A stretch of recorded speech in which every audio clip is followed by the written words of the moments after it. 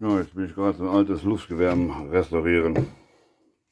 Erstmal abschleifen. Das ganze Holz hier, also kackbraun. Ja, das habe ich vorher kein Video gemacht.